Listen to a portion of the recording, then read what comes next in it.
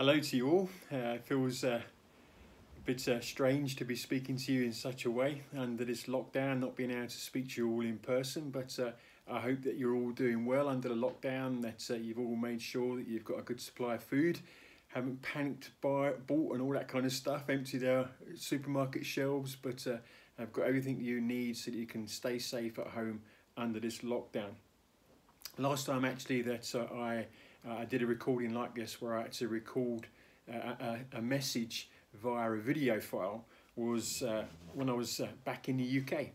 Uh, it was about, I think it was about five going on six years ago now when I was uh, having to deal with um, my visa, having to renew my visa. I was stuck in the UK, not able to get back to South Africa. For me, it felt like a really desperate time. For our family, it felt like a really desperate time. I didn't know if I was ever going to be able to get back at one stage. But uh, God did turn things around for me, and uh, uh, He made a way. He can do the impossible, eh? Our God, and He made a way for me to uh, get back to South Africa. Our God can do the impossible, even when things feel like they're or seem like they're stacked up against Him. I want to take a moment to just share a short message with you, just a few short thoughts. I'm trying to keep the file as small as possible so that it's easily uploaded and easily downloaded on your side before the lockdown started, I was out walking my dog, going out on one of my walks as I do, and I was thinking about uh, Egypt and the plagues uh, that uh, they experienced while in Israel was living in the nation of Egypt. It must have been something. It must have been really scary for both Egypt and for Israel.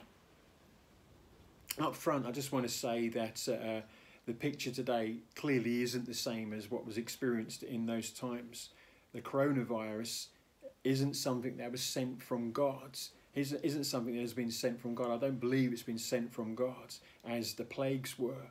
Also, uh, in, in the plagues, the people of Israel, God's people, uh, weren't affected by the plagues. And, and we know that uh, Christians today can also be infected by the coronavirus.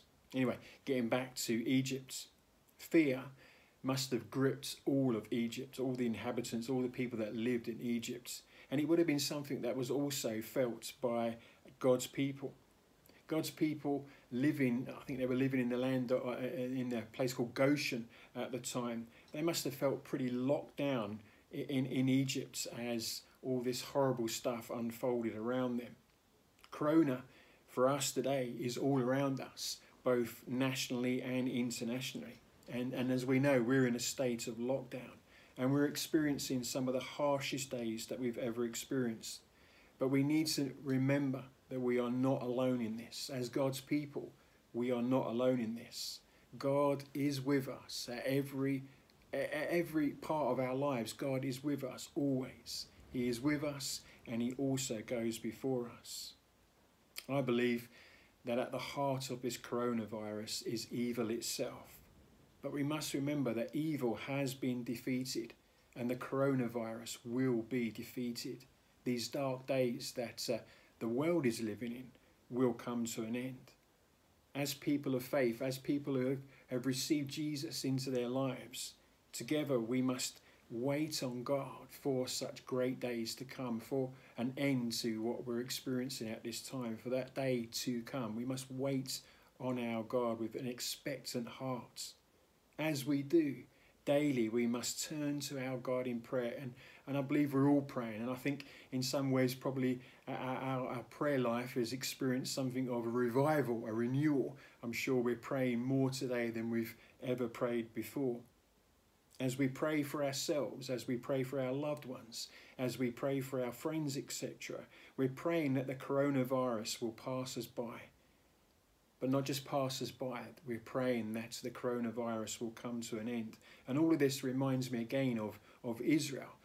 It reminds me of the Passover that they experienced for the first time as they lived out their days in Egypt. Our prayers, in some ways, are similar to the blood that they put on the doorpost so that the last, the last plague, that plague of death, would pass them by. Guys, keep on praying. Keep on seeking after our gods.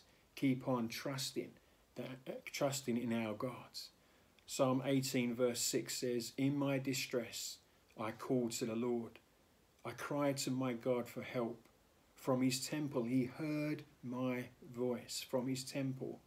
He heard my voice. My cry came before him into his ears. God hears our prayers. He hears our prayers and he is acting on those prayers. Hold firm to that truth by faith. The last part of James chapter 5, verse 16 says, and I shared this last week when we met for church together. The verse says, the last part of the verse says, the prayer of a righteous person is very powerful in its effect. That power is from our God. It's a power that is active and it's a power that will be witnessed by all. Egypt's, Egypt's plagues did come to an end. It was a, a great day for all of God's people. It was an end to their bondage. It was a new beginning for them all. The plague that is the coronavirus is also going to come to an end. It will be a great day for all people, not just God's people, but all people. I believe it will herald a great awakening, a great spiritual awakening where many people will turn to Jesus. It'll begin, it'll, it'll be a new beginning for all people. There'll be a new sense of the value of life, a new sense of community, and a renewed desire for God and for His church. This, I believe, will be both for believers and for those not yet saved. History shows us that events of this scale change the world. Thinking of things like the World Wars and the Second World, World War in particular, how the world was changed after that war. Let's look forward to a new and even better world coming as this season comes to a close. On that note, I want to conclude my thoughts and share some final words. These are indeed perilous times that we're living in, but I encourage you to stand firm on the rock that is our God's. Continue to live under the protection of the Most High, dwelling in the shadow of the Almighty. Psalm 91, verse, verse 1. Let the perfect peace of God fill your thoughts and your life. Let me quote Isaiah 26, verse 3 to you. You, God, will keep in perfect peace all who trust in you, all whose thoughts are fixed on you. What an incredible verse that is to hold on to. Guys, as I close, let me say stay safe. Stay safe. Listen to the instructions that we're being given by our government. Stay safe. Stay in contact with each other and let's see this thing through. I love you all and I'm looking forward to the time when we can gather again and praise our great gods, when we can meet again in my home as the beautiful church that is New Horizon Vineyard. I love you guys. Let me close in prayer.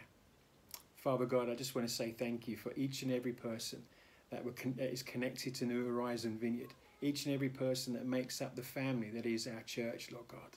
I thank you that we all know you as our Lord and Saviour. I thank you, Lord God, that you are with us and that you go before us. Lord, hear our prayers as we cry for an end to this virus. Hear our prayers for ourselves, for our families, and for our world, Lord God. And Lord, I pray and ask that you bring us together again soon.